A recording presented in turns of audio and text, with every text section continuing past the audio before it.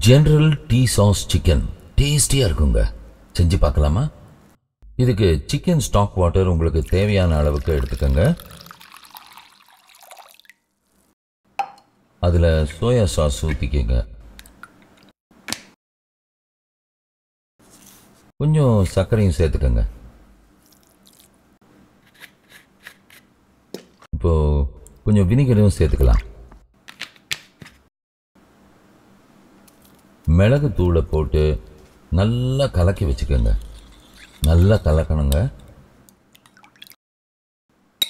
இப்போ step one முடிஞ்சிடுச்சு. அடுத்தது ஸ்டெப் டூ பார்க்கலாம். ஒரு பவுலில் கொஞ்சம் சோயா சாஸ் ஊற்றிக்கோங்க ஒரு முட்டையை நல்லா அடித்து அதிலிருந்து பாதி சேர்த்துக்கோங்க.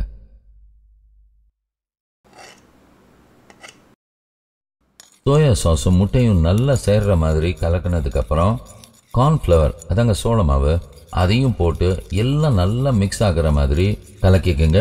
மிக்ஸ் ஆனதுக்கு அப்புறம் சிக்கனையும் மிக்ஸ் பண்ணி வச்சுக்கோங்க. எல்லா சிக்கனும் சாஸில் நல்லா மிக்ஸ் ஆகணுங்க. நல்லா மிக்ஸ் பண்ணிட்டீங்களா?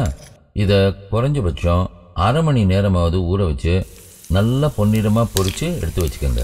ஸ்டெப் டூ இப்போ வருங்க அடுத்த ஸ்டெப் த்ரீ போகலாமா ஃப்ரை பேன் சூடானதும் நல்லெண்ணெயை ஊற்றிக்கிங்க இதை நல்ல நிலை தாங்க செய்யணும்.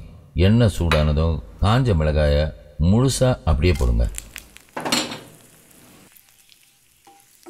இப்போ பொடுசாக நறுக்கின பூண்டை சேர்த்துக்கலாங்க. பொடுசாக நறுக்கின இஞ்சியையும் சேர்த்துக்கலாங்க.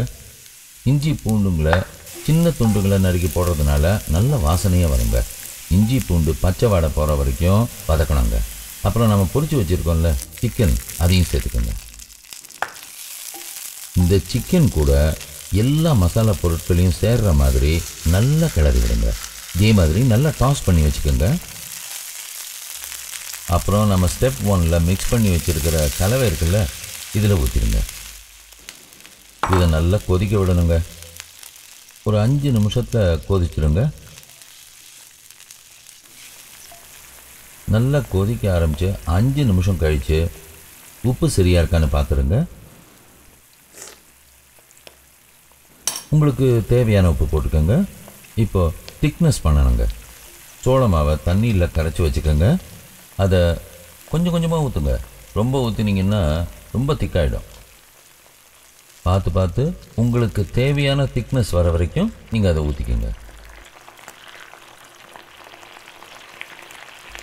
இல்லைன்னா இந்த அளவுக்கு திக்னஸ் வந்த உடனே நிறுத்திக்கோங்க. இப்போ சோள மாவை சேர்த்துருக்கோம்ல அதனால் ரெண்டு நிமிஷம் கொதிக்க விடுங்க. அவ்வளோதாங்க உங்கள் ஜென்ரல் டீ சாஸ் சிக்கன் ரெடிங்க இது ஒரு வித்தியாசமான சுவையாக இருக்குங்க. நீங்களும் செஞ்சு பார்க்கலாங்க வீட்டில் சைனீஸ் ஃபுட்டுனால குழந்தைங்களுக்கு ரொம்ப பிடிக்கும். ஏன் தெரியுமா? அது ரொம்ப சீக்கிரம் ஜீரணமாயிடுங்க.